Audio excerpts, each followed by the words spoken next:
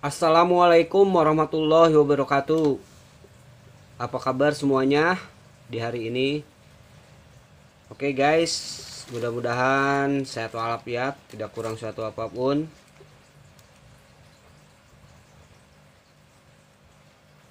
Di video kali ini saya akan berbagi pengalaman untuk mengukur motor satu pas kabel 3 untuk menentukan yang mana kapasitor dan yang mana nanti powernya ya teman-teman. Ini udah saya siapkan alat ukurnya. Saya sudah set di ohmmeter. Rencananya motor ini buat mesin cuci pengeringnya. Kebetulan kemarin saya udah beli akan saya coba tapi saya ukur dulu untuk memastikan mana yang buat kapasitor mana yang power. Oke ya teman-teman. Kita langsung aja cek berapa nilainya. Saya coba dulu untuk warna biru sama coklat atau eh abu-abu ya teman-teman.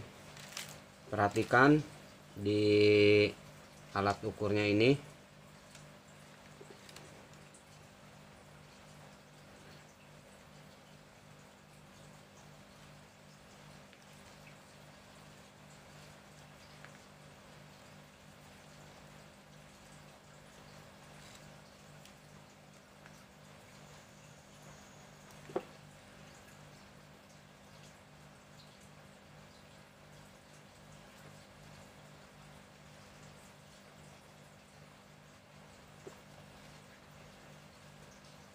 69 sampai 70-an lah ya teman-teman.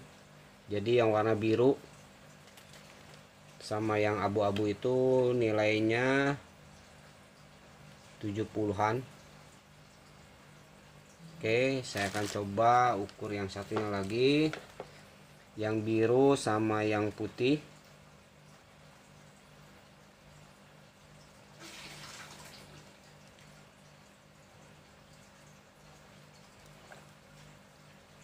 143 ohm. Biru sama putih ya teman-teman.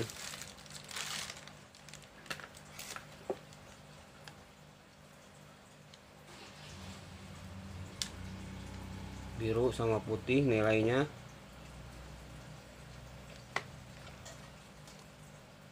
Seratus.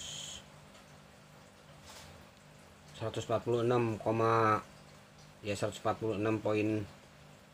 Dia nggak stabil ya teman-teman. Maksimalnya sampai 146 oke sekarang saya coba yang putih sama yang abu-abu.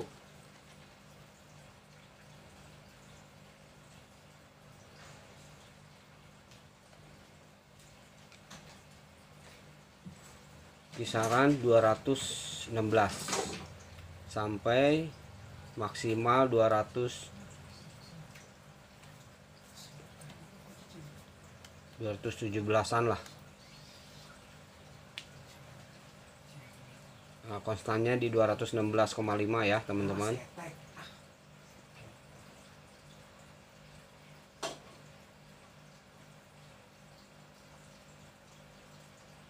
Oke berarti yang putih sama abu-abu ini ini nantinya buat powernya ya teman-teman. Karena nilai tahanannya lebih besar. Jadi kuning sama biru itu untuk ke kapasitor.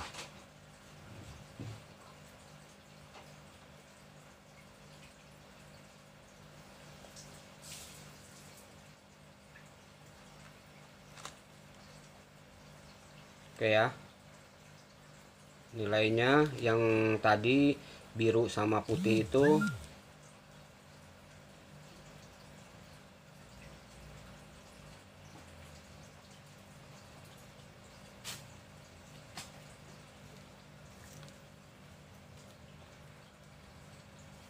155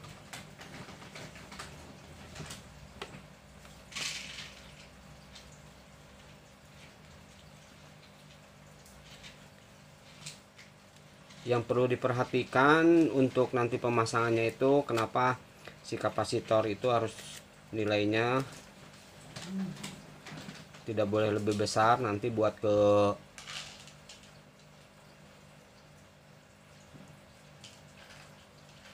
powernya ya teman-teman.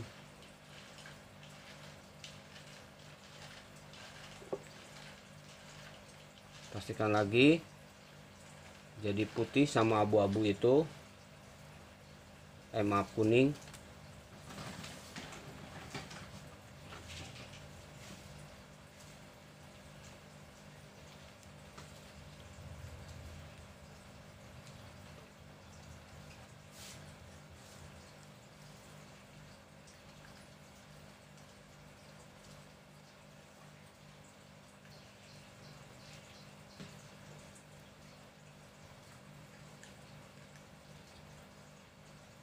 kisaran 2,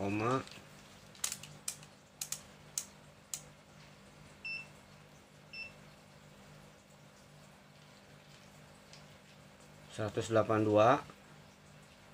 Untuk yang putih biru. 182 oke ya teman-teman. Sekarang saya akan coba biru. Kita ulang lagi perjelas biru sama abu-abu. Nilainya berapa? Untuk memastikan.